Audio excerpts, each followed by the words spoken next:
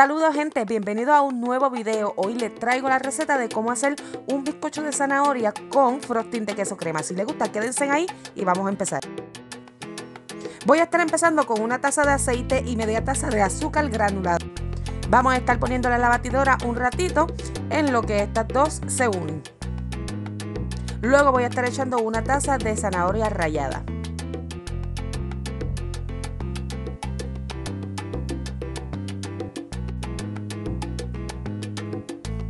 Ahora vamos a pasar a agregar lo que sería una taza de harina de bizcocho cernida.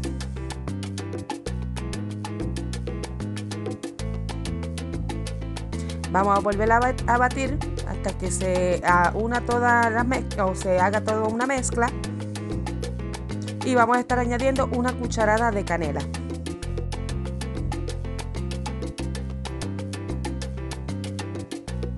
Ahora vamos a agregar dos huevos. Este bizcocho es bien fácil de hacer y bien rápido queda bien blandito. Despegamos todo el borde y volvemos a prender la máquina para que no se nos vayan a hacer grumo en lo que es nuestra mezcla.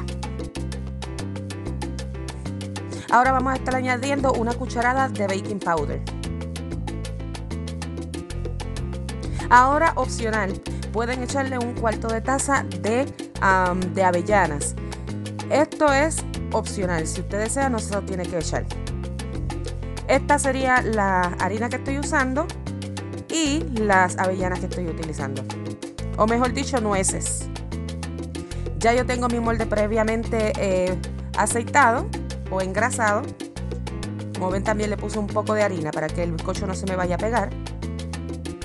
Y ya tenemos toda la mezcla hecha. Lo vamos a poner en el horno por alrededor de 30 minutos a 350 grados. Vamos a empezar con el frosting, 4 onzas de mantequilla, un queso crema. Lo vamos a mezclar muy bien. Le vamos a añadir una cucharadita de extracto de vainilla. Puede ser vainilla blanca o puede ser vainilla eh, negra, como ustedes deseen. No se han suscrito al canal, suscríbanse para que sigan viendo los próximos videos que voy a estar subiendo. Denle like si les gusta eh, el contenido y compartan si quieren también. Ahora vamos a estar echando dos tazas de azúcar blanca o, azúcar, o azúcar en polvo. Primero vamos a echar la mitad y luego la mitad para que se nos haga más fácil el proceso de mezclarlo.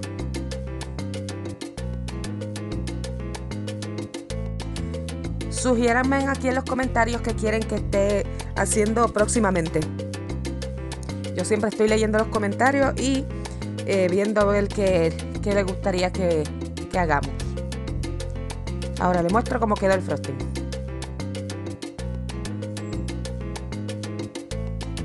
Voy a estar haciendo un syrup para el bizcocho.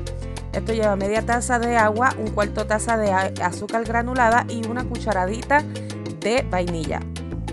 Lo vamos a poner en la estufa a fuego alto por alrededor de unos 5 minutos.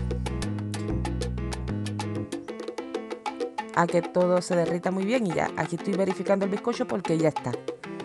Como ven, salió limpio el cuchillo, quiere decir que ya está. Voy a pasar a mover, a remover el bizcocho de, del horno. Yo lo voy a dejar enfriar por alrededor de unos 10 minutos.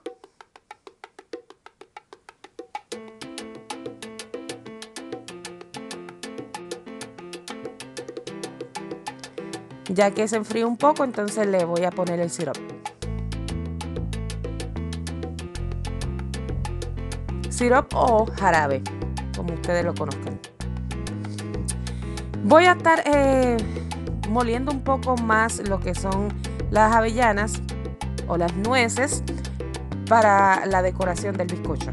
También tengo un poco de zanahoria rallada que, me, que guardé para, para la decoración.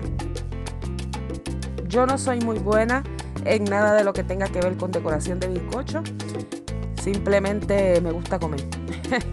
Entonces voy a estar eh, haciendo lo mejor posible. Usted es a su, a su, a su discreción, como deseen decorarlo. Yo simplemente estoy dándole una idea Eh, no es la más bonita, pero le aseguro que está bien rico y suavecito el bizcocho. Antes de poner el frosting hay que dejar enfriar bien el bizcocho para que no se derrita. Estoy poniendo un poquito de zanahoria por arriba. Y ahora le voy a poner un poco de nueces. Y este sería el resultado final.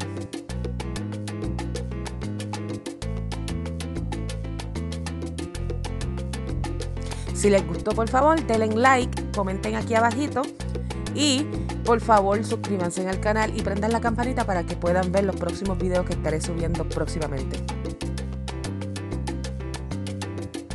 Aquí les voy a mostrar un pedacito para que vean que queda bien fluffy. Bien rápido, rico y hecho en casa, que mejor.